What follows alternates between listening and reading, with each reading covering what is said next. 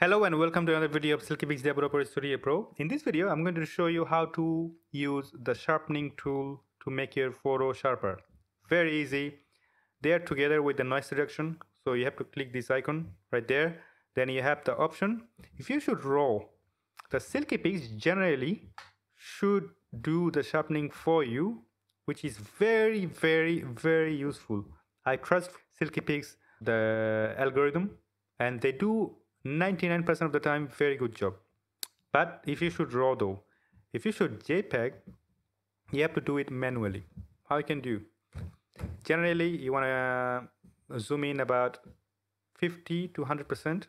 So i do 50 you don't want to do over sharp anything. You just want to try just a little bit there and generally everything looks sharp enough. I can actually the best example would be the brick wall right there.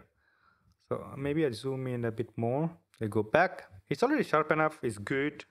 Maybe you want to try to uh, add a little bit. And as you can tell, that's how it is.